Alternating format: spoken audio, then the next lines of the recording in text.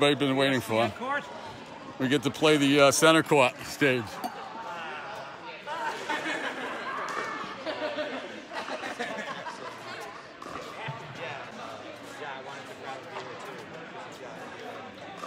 Right here in the red shorts is Riley Newman at the pickleball pro, top three, I think, in the country. And his partner is Julia, and my partner is Craig from Brookline, Mass.